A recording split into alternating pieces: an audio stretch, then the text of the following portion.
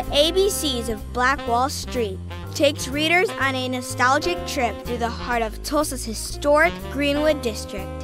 From Madam C.J. Walker's iconic beauty salon to Booker T. Washington High School, the ABCs of Black Wall Street introduces children to the entrepreneurs, families, and establishments that created one of America's wealthiest black communities.